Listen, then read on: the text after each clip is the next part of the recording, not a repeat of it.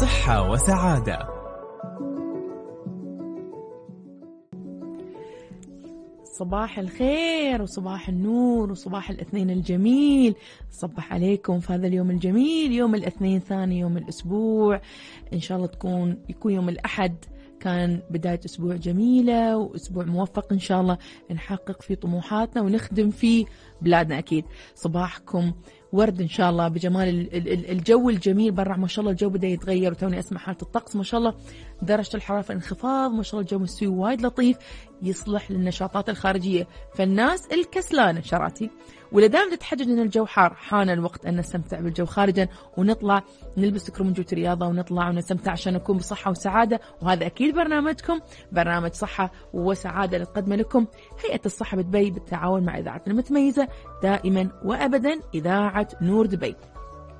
في بداية البرنامج طبعا دائما أول شيء نذكركم أرقام التواصل. أنا دائما أقول هالكلام آه، برنامج إذاعي من غير مستمعين يشاركونا بفعالية يكون ممل. مو بحلو واحد يت- يعني المذيع بس يسولف شيء هو حالاته مشاركتكم. ليش؟ لما تطرشون رسائلكم لما تتصلون فينا. أول شيء أكيد تثرون الحلقة بمواضيع ممكن إحنا ما يتعلى بال نطرحها. تعطونا آه، أفكار جديدة تطرحون موضوع جديد آه، تسألون ضيوفنا أسئلة تثري الحلقة وتفيد غيركم المستمعين. فلا تبخلون علينا فتواصلوا معنا على ستة صفر صفر خمسة خمسة واحد أربعة واحد أربعة والرسائل النصية على أربعة صفر صفر ستة. ونذكر الجميع بأن الحدث العالمي في دبي إكسبو 2020 ما شاء الله. آه تو هذا أول شهر له. إحنا نشجع الجميع انه يسي- يسيرون ويزورون إكسبو. استفيدوا من خدمة آه، مترو دبي في الذهاب إلى إكسبو. آه أول شيء نقلل الانبعاثات الكربونية. ثاني شيء آه نكون صديقين للبيئة أكثر. وثالث شيء طبعا نصل إلى إكسبو بطريقة أفضل وأسهل. أنا سمعت أن حتى المترو يوصل لين داخل. داخل الإكسبو فيكون أسهل عليكم. آه البسوا شيء مريح روحوا اتمشوا وتعرفوا على الحدث العالمي هذا. لا تنسون العالم كله ينظر إلى دبي عشان إكسبو، دبي أصلا محط والإمارات بشكل عام محط أنظار العالم من زمان، لكن وجود إكسبو مثل ما نقول البونس الشيء الزيادة، فروحوا ونرد دائما نقول دائما صوروا الأشياء الإيجابية في إكسبو، روحوا خذوا الجوازات الصفراء هالجميلة مال الاكسبو، اختموا، تعرفوا على آه، تقاليد البلاد كل آه، سمعت يعني أنا للأسف الحين ما زرته إن شاء الله قريبا. كل بلد يعرض تاريخه وإنجازاته وحضاراته وخططه المستقبلية شو شو ناويين يقدمون. آه، في في الأعوام القادمة بطريقة جدا جدا جميلة. بعض ال- الأجنحة تقدم آه، أفلام قصيرة وفي بعضها في صور وغيرها فروحوا واستمتعوا في إكسبو. أهم شيء تلبسون شيء مريح وتشربون كمية كافية من الماء لأن في مشي وايد فيعتبر اعتبروه جزء من, من الرياضة لكن أهم شيء نلبس شيء مريح. طبعا في بداية حلقة صحة وسعادة دائما تعودتوا على فقراتنا عندنا طبعا أول شيء أهم الأخبار الصحية عندنا ضيوف مميزين آه، عندنا فقرة ال social media لكن قبل كل هذا نبتدي بفقرة الأخبار. شو الخبر اليوم يقول؟ خبر اليوم يتعلق بهيئة الصحة. هيئة الصحة بدبي تستقبل رواد جايتكس 2021 بمنصة مميزة. طبعا معرض جايتكس ما شاء الله ما شاء الله آه اللهم بارك شهر عشرة ما شاء الله حافل جايتكس وإكسبو آه وإن شاء الله نهاية الشهر القرية. فما شاء الله شهر جميل وشي مثل ما نقول highly dynamic يعني وايد في أشياء وايد في فعاليات. الله يديم نعمة الأمن والأمان على بلادنا. فهيئة الصحة أعلنت عن ملامح مشاركتها الفعالة في معرض جايتكس 2021 والتي أكدت أنها ستكون متواجدة بشكل مميز هذا العام من خلال منصتها. وما تعتزم طرحه من حزمة البرامج والتطبيقات المطورة والمبادرات التي طبعا تصب في خدمة المتعاملين مع الهيئة. أهمها تطبيق إتش اي أو تطبيق هيئة الصحة بدبي وخدمة الفحص الطبي قبل الزواج إلى جانب طبعا الاتفاقيات اللي تتجه توقيعها بمختلف الجهات لتعزيز الأهداف والتطلعات في تحقيق الرفاه الصحي للمجتمع. بهذه المناسبة قال سعادة عوض صغير الكتبي المدير العام لهيئة الصحة بدبي أن معرض جايتكس 2021 هذا العام له طابعه الخاص لارتباطه بالعام نفسه الذي تنطلق منه الإمارات للخمسين عام القادمة طبعا كلنا نعرف إحنا نحتفل الحين بعام الخمسين. فجايتكس هي تزامنا مع عام الخمسين. آه آه الذي تنطلق منه الإمارات للخمسين عاما القادمة الذي يشهد تحولا هائلا في توجهات الدولة الرقمية. وما تعمل عليه مدينة دبي لتظل هي موطن الإبداع والابتكار والحلول الذكية. وأكد آه سعادة عوض الصغير الكتبي أن معرض شايتكس يمثل فرصة مهمة لزيادة القدرات التنافسية بين المؤسسات على ساحة التقنيات والتكنولوجيا والذكاء الاصطناعي وفرصة لقياس التقدم وتقييم الواقع ومقارنته بما تتطلع إليه الهيئة في أكثر المجالات تطورا في العالم. وذكر سعادة الكتبي أيضا أن هيئة الصحة في دبي ترى في معرض جايتكس المنصة المثالية لبناء الشراكات وتوثيق العلاقات والتعاون بينها وبين مختلف الجهات المعنية وذات الصلة فضلا طبعا الانفتاح على التجارب الناجحة وتبادل الخبرات والاطلاع على كل المستجدات في العالم. في عالم التكنولوجيا والتحولات الرقمية. طبعا صحة دبي أضاف سعادة كتبي أنه حريص أن تكون مشاركتها فعالة وأن يكون حضورها وتواجدها ضمن طليعة المؤسسات سريعة التقدم وخاصة في مجال عمل الهيئة وطبيعة الدورة اللي هي الخدمات الصحية طبعا اللي تدفعها دائما لتوظيف كل ما هو جديد وحديث في ما فيما يجود به العالم من تقنيات. وأشار سعادته إلى أن أي تقدم تحرزه الهيئة في هذا الاتجاه بأن ركيزته وهدفه الأساسي هو خدمة المجتمع بأساليب حديثة وأدوات وتجهيزات فائقة المستوى. إلى جانب طبعا الأهداف الاستراتيجية المهمة. وفي مقدمتها مواكبة الطفرات المتلاحقة على مستوى الإمارات وتحقيق ما تستهدفه دبي بكونها أحد أكثر المدن الأسرع نموا وتقدما في العالم. فإن شاء الله بيكون جايتكس 2021 إحدى المنصات اللي راح تكون فيها هيئة الصحة بدبي وتطرح لكم كل شيء جديد في هيئة الصحة، الخدمات، نوقع اتفاقيات مع الشركات اللي تقدم أحدث الخدمات اللي تصب في مصلحة الفرد والمجتمع. لنتمتع جميعا بصحة لنكون جميعا أكثر صحة وأكيد أكثر سعادة. من الخبر راح نروح إلى أسماء الجناحي راح تعطينا فقرة ال social media. صباحك وردي أسماء. صبحكم الله بالنور والسرور. دكتورة عليكم وعلى كل مستمعي إذاعة نور دبي حياك الله يا أسماء. شو جديد ال social media اليوم؟ من الأشياء اللي نحن حطيناها خلال الفترة الماضية أول شيء نحن حابين نأكد على أن جميع خدمات الطوارئ للأطفال. تم نقلها من أو سيتم نقلها من مستشفى دبي ومستشفى لطيفة بتاريخ 20 ستكون موجودة في مستشفى الجليلة التخصصي للأطفال. هذا من تاريخ 20 فهم من ضمن الأشياء الرئيسية اللي نحن حطيناها. أيضا من ضمن الأشياء اللي نحن قاعدين نأكد عليها في هالفترة أن سيتم نقل جميع الإجراءات التنظيمية الصحية من سلطة مدينة دبي الطبية إلى هيئة الصحة من 24 أكتوبر 20 أكتوبر خدمات الطوارئ تنتقل إلى مستشفى الجليله و24 أكتوبر نقل جميع الإجراءات الصحية والطبية من سلطه دبي مدينة دبي الطبية إلى هيئة الصحة. ممتاز. آه أيضا من ضمن الأشياء اللي نحن نحب يعني نأكد عليها إن جميع مراكز التطعيم أو مراكز هيئة الصحة هي من خلال المواعيد المسبقة يقدرون ياخذون مواعيدهم من خلال تطبيق هيئة الصحة بدبي وأيضا من خلال مركز الاتصال 8342 موجودين أيضا معاكم في معرض جيتكس وهو موجود موجود منصة هيئة الصحة اللي تعرف على الخدمات الذكية ممكن يزورونا في جناح دبي الرقمية الموجودة في قاعة الشيخ سعيد ثلاثة.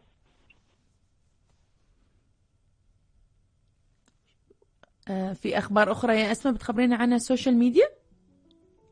مشكورين وأنتم بصحة وسعادة. وانت بصحة وسعادة يا أسماء نهارك سعيد. آه طبعا آه مثل ما ذكرت آه أسماء إنه ممكن حجز المواعيد عن طريق تطبيق هيئة الصحة بالبي أنا أشجع الجميع إنهم ينزلون تطبيق. التطبيق سهل التصفح آه جدا من تسجلون فيه. هو خطوات التسجيل ممكن البعض يلاقيها شوي طويلة لسبب. أريد أقول السبب أن حماية معلوماتكم الطبية اللي موجودة ضمن التطبيق. يعني لو فتحتوا تطبيق هيئة الصحة الحين بتلاقون كل معلوماتكم الطبية موجودة. مواعيدكم أدويتكم تحاليلكم نتائج التحاليل المواعيد القادمة. ترموا تضيفون كل كل أفراد الأسرة معاكم في التطبيق فيكون سهل عليكم إنكم تتابعون. آه خلينا نقول آه صحة عائلتكم مواعيدهم الجاية آه تحجزون مواعيد. عن طريق التطبيق. فالتطبيق جدا جدا جدا جميل وجدا سهل في التصفح ساعة ما تسجلون فيه. راح تلاقون لكم ما تستغنون عنه. دائما تفتحونه عشان تحصلون على الخدمات عشان تكون عندكم مواكبة أحدث الخدمات هيئة الصحة بدبي فنزلوا تطبيق سجلوا فيه وضيفوا كل عائلاتكم فيه. تقدرون تتابعون آه، الخدمات الصحية اللي موجودة ضمن التطبيق. اليوم آه، بعد الفاصل إن شاء الله راح يكون عندنا اليوم موضوع جميل جدا. وأنا كنت مصرة إن هذا الموضوع يطرح اللي هو موضوع آه، تساقط الشعر. وأهمية التحاليل المرتبطة بتساقط الشعر. آه ليش بالع... ليش ركزنا على هذا الموضوع؟ آه قد يقول البعض موضوع دكتور تساقط الشعر يعني موضوع آه، خلي مثل ما يقول الكل عنده تساقط شعر، منو ما يتساقط عنده الشعر؟ هذه فكرة خاطئة. هناك تساقط طبيعي وهناك تساقط غير طبيعي للشعر فطبعا دائما نقصد نحن الفرق بين التساقط الطبيعي والتساقط غير الطبيعي. ليش؟ لأن للأسف آه إذا خصوصا طبعا المرأة أنا أحس الرجال ما يهمهم يعني وايد تساقط الشعر. يعني أحس الحريم وإحنا دائما يعني نحسب الشعره الواحده لو طاحت إنه يعني كم شعره طاحت في اليوم. إذا نشتري لقينا شوي شعر على المخدة نحس إنه إذا مشطنا لقينا شعر في المشط فنحس إنه هل ممكن أفقد أنا شعري؟ طبعا الشعر هو تاج المرأة ونهتم فيه. من من من القدم يعني إحنا نحب يكون عندنا شعرنا جميل. لكن للأسف اللي يستوي. لما المرأة ما يكون عندها خلفيه كافيه إنه شو الفرق بين التساقط الطبيعي وشو الفرق بين التساقط الغير طبيعي؟ تبدأ تنساق ورا خلطات حبوب شاي شو بعد فيه كريم يمكن آه هي هالاشياء يعني عشان شو آه توقف تساقط الشعر الغريبة أن البعض هذه في بعض منصات التواصل الاجتماعي لما تطرح هالكبسولات أنا أول شيء أستغرب كيف حد ممكن ياخذ كبسولات ومو بعرف شو مصدرها. يعني أنا ما أعرف هذه هي هي تقول لي والله هي مرخص وما بس أنا ما أعرف شو تحتوي الكبسولات. على شو ممكن تكون كبسولة فاضية ما في داخلها شيء بس تبيع لك إياها بالسعر الفلاني. أول شيء كبسولة غير مرخصة. يعني غير مو باستشارة الطبيب. ما تعرفين شو مكوناتها ما تعرفين شو ظروف تخزين الكبسولة نفسها. وين كانت مخزنها الكبسولة؟ ترى يا جماعة جزء كبير من سلامة الدواء في التخزين. إنزين بعدين شو المكونات الموجودة في الكبسولة؟ هل هي مكونات آمنة أو لا؟ هل هي مكونات ما راح تسوي تفاعل في جسمي ما راح تعطيني آثار جانبية تسبب تساقط أكثر في الشعر؟ آه رقم رقم اثنين آه هذا الانسياق وراء هذه المنتجات الغير مرخصة وما لها أساس معروف وما تعرفوا شو مكوناتها ولا طريقة تخزينها تؤدي إلى مضاعفات إحنا نشوفها وايد في العيادات آه بقع في الجسم آه، فراغات تستوي في الشعر آه، تساقط رموش تساقط حواجب يدخلون في مضاعفات ما لها داعي لأن من البداية ما أخذت رأي الطبي الصحيح هل أنا عندي تساقط حقيقي أو مجرد تساقط طبيعي للشعر راح يكون إن شاء الله راح نبتدي أول شيء بفقره التغذية بعد إن شاء الله الفاصل راح يكون معنا أخصائية التغذية الأستاذة سهى نوفل اختصاصي أول التغذية السريرية بتكلمنا عن الأغذية المهمة لمنع تساقط الشعر. لأن يعني نقول صدق أو لا تصدق الاهتمام بالشعر يبتدي من التغذية. نروح فاصل ونرجع. صحة وسعادة.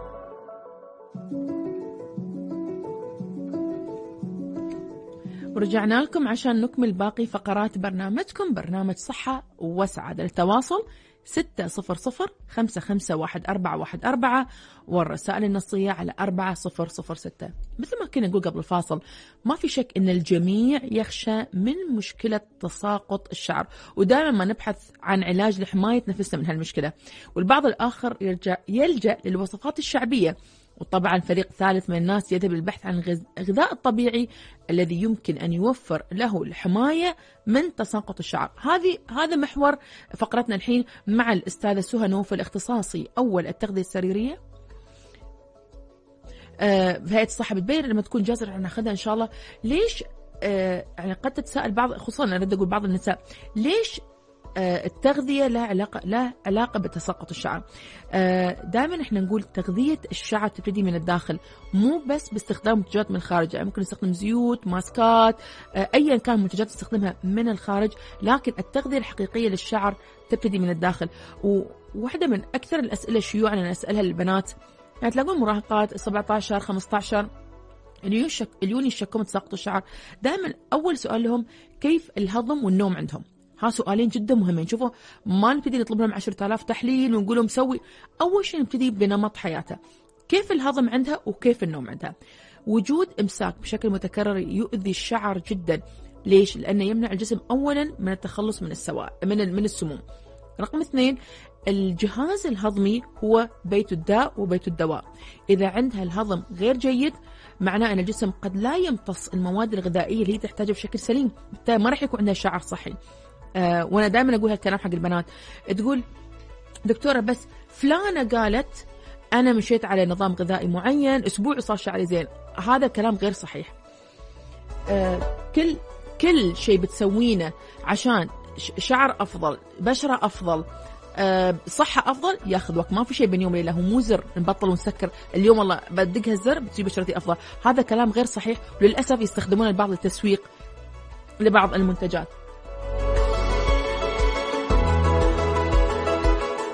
فمثل ما إحنا نقول آه إن التغذية السليمة هي الأساس في آه الشعر الجميل أو البشرة الجميلة أو يعني تكون صحتنا أفضل بشكل عام فللبنات دائما نقول أول سؤال آه. نقول لهم إياه انه اهتمي بتغذيتك لما نقول خذي خضار وسلطة بشكل دائم شو السبب انه عشان يكون هضمك أفضل يكون في ألياف أكثر.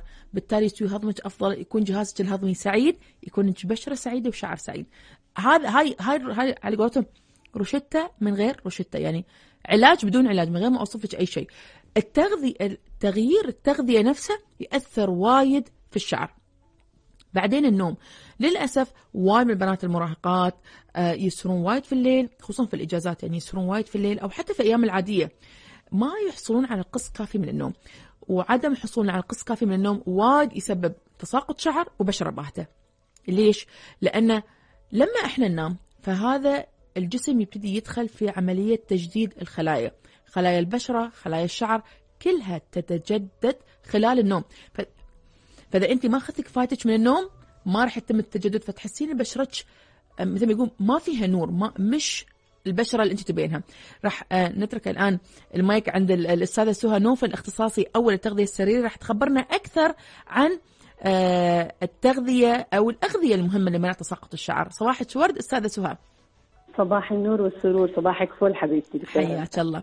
أول شيء آه بما أخصائية التغذية أتوقع يمر عليك وايد خصوصا أريد أقول بنات بمشكلة تساقط الشعر. فنبتدي على السريع نقول عن مشكلة تساقط الشعر وأبرز أسبابها. آه فعليا صح زي ما تفضلتي حضرتك كثير. بيجينا خاصة عند النساء مشكلة تساقط الشعر أو البنات بشكل عام. آه، طبعا إذا بدنا نعرف أسباب علاج تساقط الشعر لازم زي ما تفضلتي نعرف الأسباب المؤدية لتساقط الشعر عندنا. لو حكينا الأسباب بشكل عام هي في عندنا أسباب وراثية، في عندنا آه، الأسباب في تناول بعض الأدوية، بعض الحالات المرضية زي آه، أمراض الغدة الدرقية لكن أو بعض أمراض المناعة، إذا حكينا على الأسباب التغذويه فهي أهم الأسباب عندي هو وجود نقص في بعض الفيتامينات زي الزنك الحديد فيتامين ب فهذا الشخص أو هذه السيدة ما بتكون تتناول الغذاء الكافي اللي يحتوي على العناصر الفيتامينات الكافية والمغذية لبشرتها ولشعرها تحديدا. آه وجود نقص في البروتين المتناول فلما يكون في عندي نقص في البروتين بالتالي بيقل تدفق مادة الكيراتين للشعر آه، اللي بتغذي الشعر نفسه لأن البروتين ما فيها فإذا كل هذه العوامل التغذوية نقص الفيتامينات نقص البروتين تناول الطعام الغير صحي كمان كلها تؤدي إلى تساقط الشعر أو بيكون لها سهم كبير في تساقط الشعر. غير طبعا زي ما حكينا إذا كان في تناول بعض الأدوية أو حالات مرضية معينة أو أسباب آه، وراثية بالإضافة إلى الاستخدام الخطا لبعض المنتجات اللي خاصة بالعنايه للشعر. ممتاز. آه، أستاذة سهى شو الأغذية اللي تساعد في الحماية من تساقط الشعر؟ وش كثر الأغذية تؤثر فعليا في حمايتنا من تساقط الشعر؟ نعم هسه إذا إحنا حكينا تقريبا في كثير من الدراسات حكت إنه ما يقارب من حوالي 6 ل 9% من أسباب تساقط الشعر بتكون أسبابها تغذوية. هاي الأسباب التغذوية خليني أنا أحاول أسيطر عليها قدر المستطاع.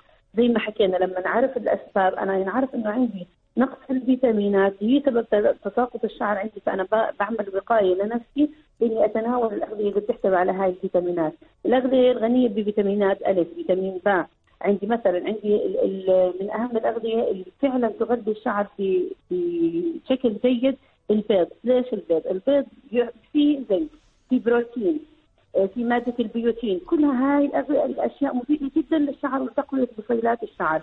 فإن هو بسموه غذاء آه، كبير بحجم صغير البيض. من الأغذية أيضا الخضروات الورقية. زي ما حكينا عندك نقص فيتامين د إذا الخضروات الورقية تحتوي على العديد من فيتامينات آه، فيها حديد بالإضافة إلى أنه فيها عندي فيتامين C. فيتامين C طبعا وفيتامين ها مضادات للأكسدة، مضادات الأكسدة يعني بترفع لي آه، الوقاية والحماية لبصيلات الشعر، طبعا هي بتوقي الجسم بشكل عام لكن إحنا هلا بنركز على الشعر. مضاد أكسدة يعني بيحمي عندي بصيلات الشعر من التلف. بيحمي هيكل البصيله نفسه فبالتالي بيعزز من هذا الهيكل وبقويه وبيخلي عندي المستقبلات لمغذيات الشعر تكون بشكل أقوى وبتقوي الشعر وبخفف من تساقط الشعر اللي بيكون من اسبابه التغذوية، إذا أيضا بدي أركز على منتجات فيتامين سي اللي معروف موجود بالخضار الورقية، موجودة بالفواكه بشكل عام، موجودة بالخضروات. الأسماك الدهنية أتناولها مش أقل من مرتين إلى ثلاث مرات في الأسبوع لأنه الأسماك الدهنية آه، المواد الدهنية أو الدهون الجيدة الأحماض الدهنية الموجودة في هذه الأسماك بتخلي آه، فروه الرأس تكون عندي آه، لينة رطبة يعني رطبة وتحمي تحميها من أي جفاف. فبالتالي الأسماك الدهنية وفيها فيتامين د أيضا فيها فيتامين ب.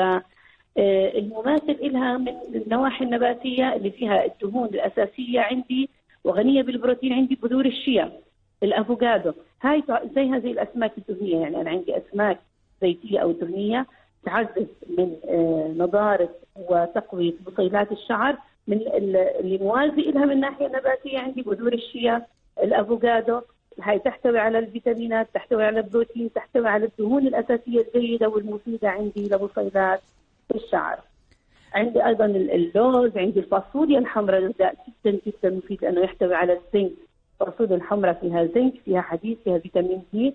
أيضا مفيدة جدا لبصيلات ولتقوية الشعر عندي والحفاظ على آه، نضاره الشعر وتقليل من تقصفه وتساقطه. ممتاز. آه، أستاذ سهيل بما إن قلنا إن في هناك أغذية تحمي شعرنا من التساقط وتخلينا نتمتع بشعر أفضل هل هناك أغذية ممكن نقول تزيد تساقط الشعر أو آه، تخلينا لا نتمتع بشعر صحي؟ بالتأكيد طبعا. هلا زي ما هو في عندي الشيء اللي حيأثر على جسمي بشكل عام ويخليني غير صحي يسبب لي آه، تعب في بشرتي تعب في أو يؤدي إلى أمراض أخرى. بالتأكيد كمان هذا شيء حيأثر لي على شعري. من أهم يعني كثير من الدراسات طلعت في الآونة الأخيرة تثبت إن السكر السكر بيؤدي إلى آه، بيأثر على بصيلات عندي الشعر وعلى الجذور هاي الشعر بالتالي بضر في الشعرة وبضر في الصحة العامة حتى للشعرة. آه، لأنه بيزيد عندي من مقاومة الأنسولين بيزيد من احتمالية الإصابة بالأمراض الأخرى فأي مادة تؤدي إلى زيادة مقاومة الأنسولين في الجسم بالتالي بتتعب عندي بصيلة الشعر وبتسبب عندي آه، إن هاي الشعرة تكون جذورها ضعيفة وسهل تقصفها أو إنها تتساقط عندي. الأغذية اللي بت... أهم غذاء بيزيد من ارتفاع مقاومة الأنسولين عندي اللي هو السكر الأبيض وأيضا حتى كل الأغذية المصنعة زي الطحين الأبيض الخبز المعجنات كلها لأنه بدخل فيها سكر وبدخل فيها طحين أبيض فهي كلها بتزيد من مؤشر السكري أو بنسميه مقاومة الإنسولين بيؤدي إلى ارتفاعه بيعمل خلل في الهرمونات وكل هذا بالنهاية بيأثر على بصيله الشعر. أيضا من الأشياء اللي دائما نحبذ دائما بننصح الابتعاد عنها قدر المستطاع الأغذية الجاهزة الوجبات السريعة. لأنها مش بس تؤدي إلى أمراض القلب ولا تؤدي فقط إلى السمنة أيضا تؤثر على فروة الرأس نفسها فروة الشعر. يعني بتزيد من نسبة الدهون فيها. لما بتزيد نسبة الدهون فيها بتخلي المسامات تاعت الشعر نفسها آه، تصغر وبالتالي البصيلات أيضا تتأثر. يعني تصير عندي طبقة دهنية زائدة عن الحد اللي هو مطلوب والصحي بتزيد أيضا فبالتالي هاي البصيلات تصغر الدم اللي بيحمل المغذيات لهاي البصيلة بصير صعب عليه يوصل لها فبالتالي بيصير تساقطها أسرع آه، تقصفها أسهل. من الأشياء أيضا الناس اللي بتشرب المشروبات الغازية الزايده هلأ المشروبات الغازية كلها بشكل عام فيها سكر وفيها مواد وفيها هاي نتجنبها حتى ال diet حتى ال diet نستخدموا فيه السكر الصناعي اللي هو الأسبرتام. هاي العديد من الدراسات اللي ظهرت حاليا تؤدي إلى إنه يؤدي إلى تلف وضرر في بصيلات الشعر نفسها. فاذا أنا أنتبه أنتبه جيدا لنوعية الأخذ الاكل اللي أنا بدي أتناوله. أتجنب هاي الأشياء قدر المستطاع تأكد إنها هاي تعكس على جسمي بشكل عام وعلى شعري بشكل خاص. حافظ على شعري واهويه دائما بالشكل المطلوب وأتجنب الأشياء والمغذي من الناحيه التغذويه اللي إحنا حكيناها والعوامل الأخرى اللي ممكن تزيد من هذا العامل أو تسرع من آه، تساقط الشعر عندي آه، وتلف الشعر. ممتاز. آه شكرا لك أستاذة سهى نوفل اختصاصي أول التغذية السريريه بهيئة الصحة دبي مداخلتك معنا اليوم بخصوص الأغذية المهمة لمنع تساقط الشعر والحفاظ على شعر صحي شكرا لك نهارك سعيد. نهاركم أسعد حبيبي يعطيك العافية. الله يعافيك. مثل ما تفضلت أستاذة سهى قبل ما نطلع الفاصل آه، هناك أغذية تعطينا الشعر أفضل هناك أغذية تساعد في تساقط الشعر الشعر ما يكون في لمعة ما يكون صحي ما يكون مثل ما إحنا نحب. فدائما آه، لاحظت ركزت دائما على الأشياء الطازجة الخضروات والفواكه والبيض والأسماك كلها تساعد في الحفاظ على على شعر صحي.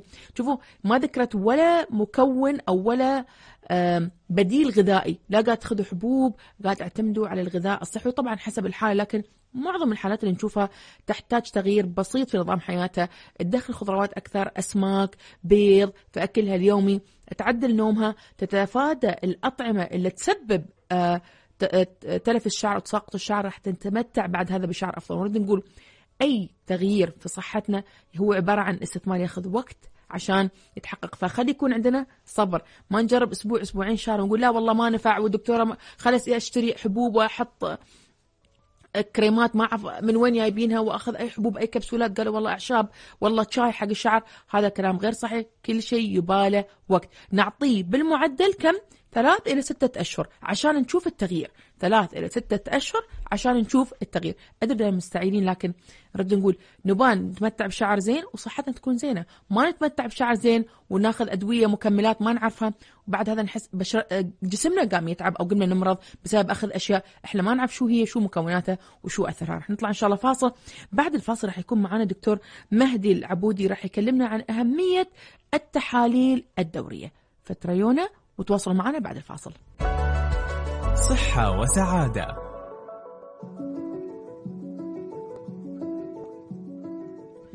ورجعنا لكم عشان نكمل باقي فقرات برنامج المميز المميز برنامج صحة وسعادة. تواصلوا معنا على ستة صفر صفر خمسة خمسة واحد أربعة واحد أربعة ورسائل النصية على أربعة صفر صفر ستة. طبعا حماية الصحة العامة وأهمية الاكتشاف المبكر للأمراض شيء جدا أساسي. عشان شيء دائما يوصي الأطباء بضرورة إجراء الفحوصات والتحاليل الدورية من دون ربط ذلك بعلة أو ظرف صحي. آه، معناه أن نسوي تحاليل قبل ما تطلع عندنا الأمراض. هذا المقصود به إجراء فحوصات وتحاليل دورية من غير وجود أي مرض. آه، آه، طبعا هناك توصية الأطباء أو نصيحتهم أنه ممكن الطبيب ينصحك بعمل تحاليل معينة على عمر معين بتكرار معين مثلا تسوي تحليل معين مثلا عمر 40 على العمر 50 على العمر 30 مثلا عيدها كل أربع سنوات تعيدها كل سنة حسب توصية الأطباء. آه، بالتحديد يكون عند الأشخاص الأكثر عرضة للأمراض أو من لديهم أمراض مزمنة أو من لديهم عرضة للإصابة بعض الأمراض. بس طبعا التحاليل الدورية إحنا ننصح فيها الجميع سواء عندك آه، تاريخ مرضي ما عندك تاريخ مرضي عندك آه، خطر الإصابة بأمراض معينة أو لا. التحليل الدوري شيء أساسي ومهم جدا. نحن نلتزم بجدول التحاليل الدورية. لا نزيد ولا ننقص. ما ننقص معناه ما نطوف التحليل الدوري. وما نزيد بمعنى ما نبالغ في زيادة إجراء التحاليل. ليش يا ترى؟ هذا بيجاوب عنه آه، الدكتور مهدي العبودي اختصاصي طب الأسرة في هيئة الصحة بدبي صباح الخير دكتور مهدي. صباح النور والسرور هلا فيك. آه طبعا دكتور مهدي كونك طبيب أسرة فأكيد أن يمرون عليك كثير من المرضى اللي دائما يطلبون تحاليل بشكل دوري. بس خلينا أول شيء نعرف المستمعين شو يعني تحاليل دورية وشو أهمية التحاليل الدورية؟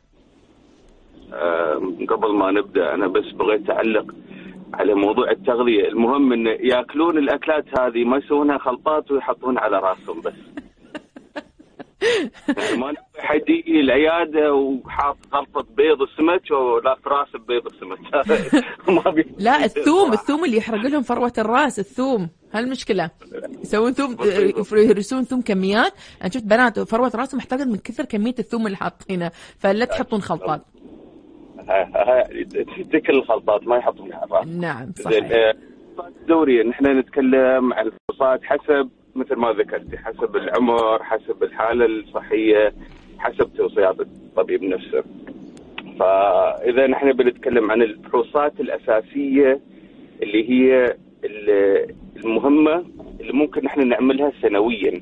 لما نتكلم سنويا يعني مرة في السنة مو بمرتين أو ثلاثة إلا إذا كان الطبيب هو نفسه موصي بهالموضوع. صح. فالفحص الأسا... الفحوصات الأساسية سنوية اللي هي الفحص الهيموغلوبين مع مخزون الحديد مع بيمدال مع وظائف الكلى. وإذا حسب عمر الشخص ممكن نحن نضيف بعض الفحوصات الثانية. فنيجي مثلا الشخص وصل سن ال 40 سنة نضيف لهم فحص آه، تقريبا فحص الخروج عشان بنشوف إذا في إذا في دم ولا لا. لأن دراسات كثيرة والدراسات حاليا بعد الإرشادات الطبية العالمية تقول من سن ال 40 تبدأ حاله حالات ازدياد اللي هي سرطان القولون تزيد الاحتمالية تزيد عند الأشخاص خاصه عند الرجال. من سن ال 40 فنحن من سن ال 40 سنويا نعمل هالفحص. زين.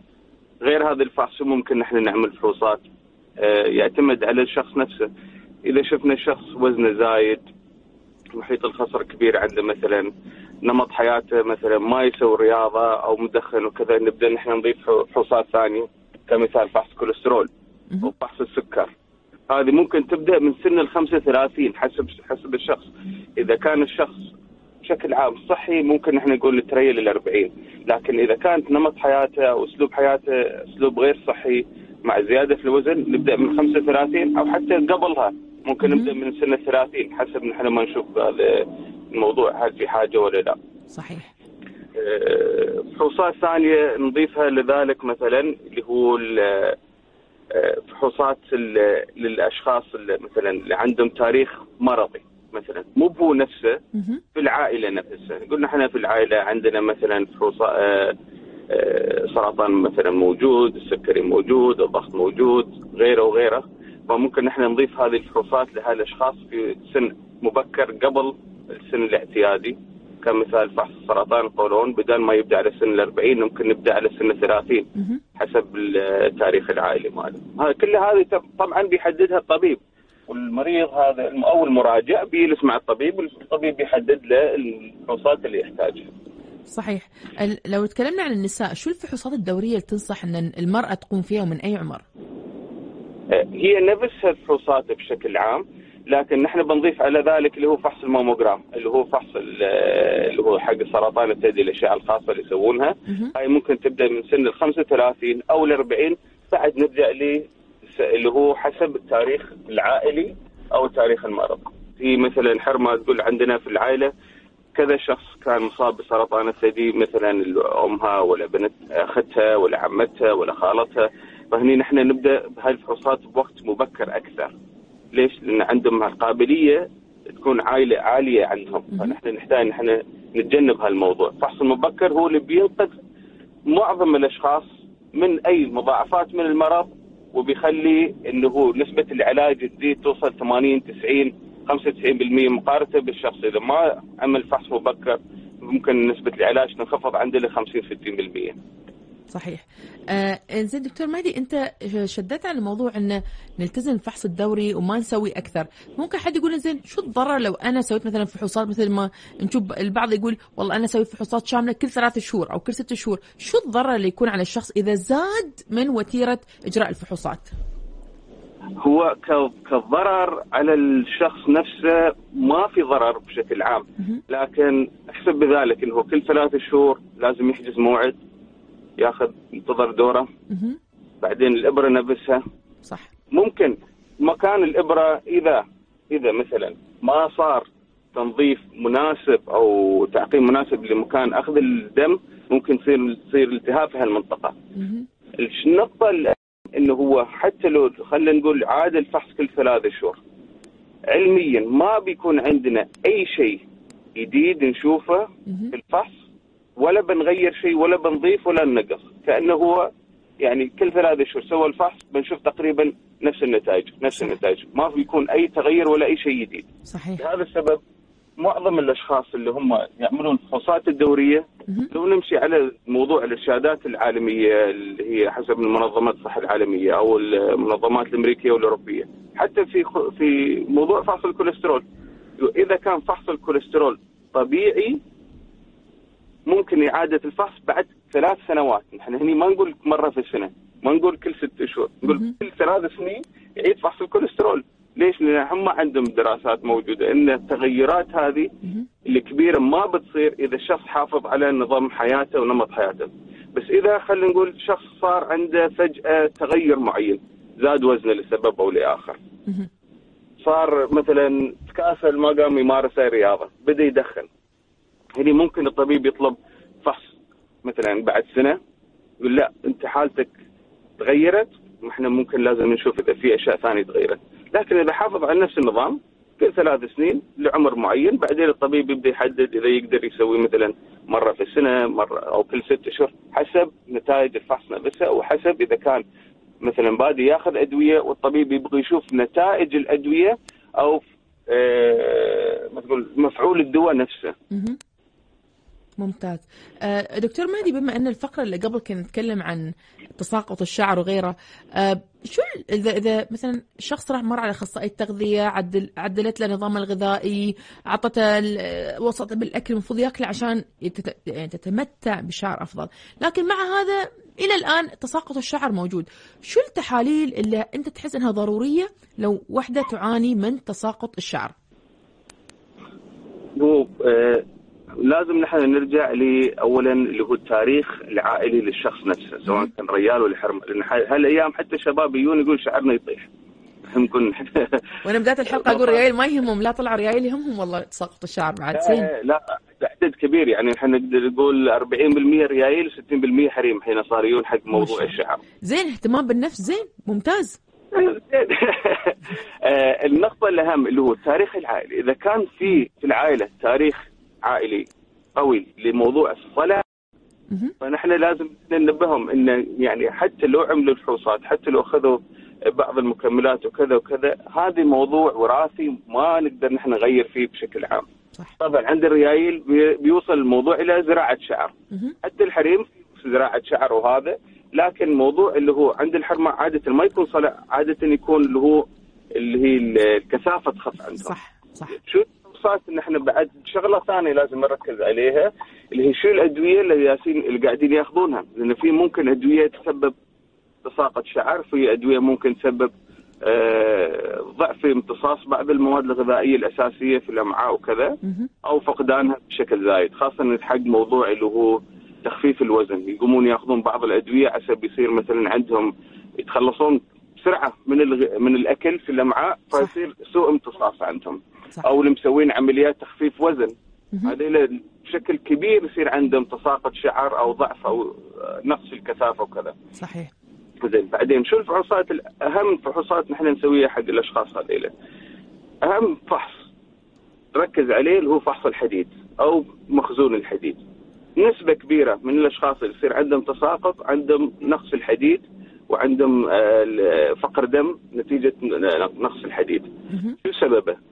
لأنه ممكن يكون يا أنه نمط الحياة عندهم مثلا غير صحي، أكلهم غير صحي، مكون أكثر شيء من الأكلات السريعة، الكربوهيدرات وغيره وغيره وهذا، وما يأكلون نسبة بروتين كافي بحيث يزودون أعمارهم بالحديد. نحن نتكلم عن بروتين الحيواني وما نتكلم عن البروتين النباتي. لأن يوصلون لمستوى أو التركيز المناسب من الحديد في الدم لازم يأكلون كميات كبيرة جدا من البروتين الحي... النباتي عشان يوصلون هالتركيز صحيح. مقارنة بالبروتين الحيواني. صحيح. يعني هاي النقطة الأولى هي نقطه اللي هو الحديد نفسه.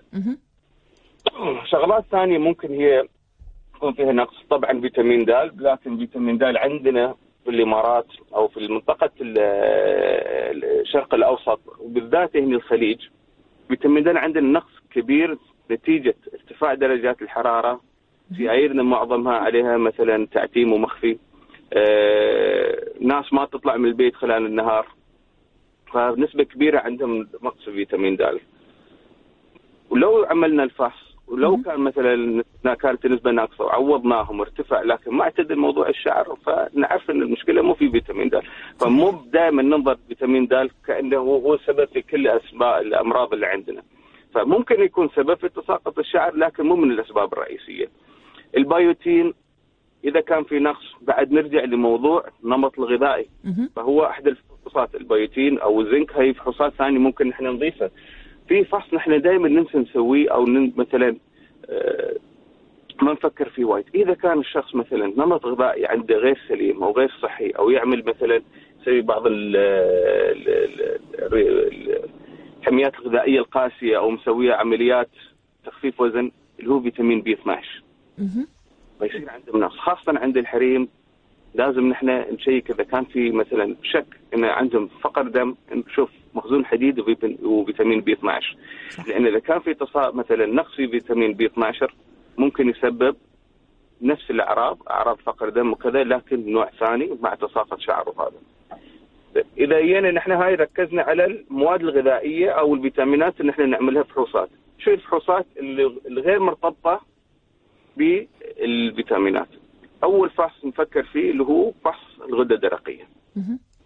كان في نقص في الغدة الدرقية ولا كان في زيادة نشاط زايد. فنسوي لهم فحص. عادة يكونون عندهم يكون عندهم كسل في الغدة الدرقية كسل يؤدي إلى تساقط شعر طبعا بوجود أعراض ثانية. معظم الأشخاص اللي يجون عندهم مشاكل في الغدة الدرقية ما يشتكون من تساقط شعر لكن يشتكون عادة من الإرهاق أو من زيادة أو نقصان في الوزن حسب إذا كان نشاط أو كسل في الغدة. يكون عندهم مثلا ارتفاع آه، في دقات آه، زيادة في آه، اسمه معدل دقات القلب. توتر زايد تعرق زايد أو يحسون ببرد زيادة. كل هاي الأمور نحن بعدين نبدا نشك إنه ممكن يكون أحد الأسباب اللي هو الغدة الدرقية. نفسها نسوي الفحص نضيف بعدين فحوصات إضافية ثانية مثل ما ذكرت الأخص- اخصائيه التغذية. السكري مثلا. طبعا إذا كان الشخص يعاني من مرض السكر بتكون عنده أشياء كثيرة مشاكل في الكلى مشاكل في شبكيه العين ومشاكل في الريل ومشاكل في الأعصاب وفي الشرايين وكذا. هذا إذا كان السكر متطور وصار بشكل متقدم وما متحكمين فيه وما محافظين على صحتهم نتيجة ارتفاع السكر. صحيح. بشكل عام هذه الأسباب هذه يعني بشكل رئيسي نحن نركز على هاي الأشياء، ممكن تكون في بعض الأسباب الثانوية وبعض الأسباب اللي هو النادره جدا. نحن هذه ما نحن ما نتطرق إليها صح. إلا إذا كانت الأسباب الرئيسية عندنا واضحة. صحيح إنزين دكتور مهدي شو تقول للناس اللي تقول يقول لك الله أنا أنا مثلا رياضي أنا عائلتي ما فيها أمراض أنا صحتي زينة فما في داعي أسوي فحص دوري هو الفحص الدوري عادة نحن نقول هي هو كموضوع وقاية وكشف مبكر. صح نحن عندنا الحمد لله في الهيئة برنامج اللي هو الفحص آه، السنوي. اللي هو ال- ال- الفحص الوطني السنوي. صح هذه نحن نسويها لأي شخص من 18 سنة مهم. لين للنهاية. هذه حاليا نحن قاعدين نسويها كل سنتين لأنه حسب ما نشوف إنه سنويا ما له أي داعي في الأشخاص اللي هم الصغار. هذه الفحوصات هل هي ضرورية؟ لا. متى زين إذا تكون مهمة جدا وضرورية؟ إذا حسب التاريخ العائلي مثل ما ذكرنا وص... الشخص وصل لعمر 35 40 سنة فهني نحن نوصي ليش؟ لأن الأمراض مثلا آه، السكر أو ارتفاع في الكوليسترول هذه ما لها أعراض في البداية، هاي. الأعراض تكون تجي مع الوقت. مهم. فأي شخص المصاب بالسكر مثلا من النوع الثاني. فجأة يكتشف أن عنده السكر كيف؟ صار السكر عنده مثلا وصل مستوى 500 600 700 مع ارتفاع في الكيتونات مع جفاف وتنوم في المستشفى ويبدأ يعطونا بعض السوائل مع الإنسولين لما يعتدل السكر. صح. معظمهم اللي يكتشفونه مثلا إذا اللي يكونون رافضين إنه يسوون أي فحوصات هاي طريقة اكتشافهم من عندهم السكر. صحيح. زين. حسب نحن نمنعهم من يوصلون لهذه المرحلة. شو نسوي؟ نقول نوصي نعطيهم يعني نوصي عليهم إنه فحصوا مبكر حسب تتجنبون توصلون لهذه المرحلة. الفحص المبكر بيجنبهم إنه يدخلون في مرحلة السكر أو مرحلة الأمراض. أكيد. أنا أفضل مثال دائما يقول له هو موضوع السكر ليش؟ لأن في مرحلة في السكر نحن نسميه ما قبل السكر. اللي هو. لما السكر يكون مرتفع بس ما وصل لمرحلة السكري نفسها. فهني هاي منطقة ذهبية إن الواحد يقدر يتصرف فيها ويمنع إنه يدخل في مرحلة السكر ويرجع إلى المستوى الطبيعي بشكل سريع خلال شهور صحيح. شهرين ثلاثة ويرجع للمستوى الطبيعي. أكيد. فقط بتغيير نمط غذائي. زين كيف نحن نعرف هذا؟ الفحوصات الدوريه مرة في السنة مثلا مرة كل سنتين. صحيح. نعطيهم نوصي عليهم سووا الفحص. صحيح. طمنوا على صحتهم. وهذا وحسب توصية الطبيب. إذا الطبيب شاف النتائج زينة يقول له تعال راجع عيد الفحوصات بعد سنة. عيد الفحوصات بعد سنتين. أو بعد ثلاث سنوات حسب حسب الحالة. الطبيب. طبعا دكتور مهدي ما شاء الله الحديث عن الفحوصات الدورية طبعا يطول آه وإحنا سعيدين جدا باستضافتك اليوم معنا للحديث عن الفحوصات الدورية وأهميتها وإن شاء الله يكون آه لنا معاك لقاءات مستقبلية. تكلمنا أكثر بإسهاب أكثر عن الفحوصات. شكرا دكتور مهدي العبودي اختص- اختصاصي طب الأسرة في هيئة الصحة بدبي. نهارك سعيد. شكرا. مثل ما قال دكتور مهدي يوصي بضرورة الالتزام بالفحوصات الدورية حسب توصيات الطبيب. يعني شو الطبيب ينصحك؟ امشي على جدول الفحوصات الدورية لا تكثرون فحوصات لا تطوفون فحوصات. الاثنين لهم ضرر فلازم نلتزم جدول الفحوصات الدورية. إحنا وصلنا لختام برنامجكم برنامج صحة وسعادة. شكرا في التنسيق إسراء الهاشمي وفي الإخراج سعيد المر. وشكرا لفريق الإعداد في هيئة الصحة بدبي اللي يعدوا لنا حلقات آه، صحة وسعادة كل يوم يعني جهود عظيمة تسوونها في التنسيق مع الضيوف وتحضير المواضيع وغيرها وإذا مستمعين عندكم أي موضوع حابين نطرحه لا تبخلون علينا تواصلوا معنا عن طريق الرسائل النصية على 4006 طرشوا قولوا نبغى تطرحون الموضوع المعين في صحة وسعادة وإن شاء الله راح نحاول نطرحها في الحلقات القادمة. هذه محدثتكم دكتورة ندى الملا. إن شاء الله بالحياة أشوفكم أنا إن شاء الله الاثنين القادم ولن ألقاكم إن شاء الله الأسبوع القادم. أقول لكم دمتم بصحة وسعادة. صحة وسعادة.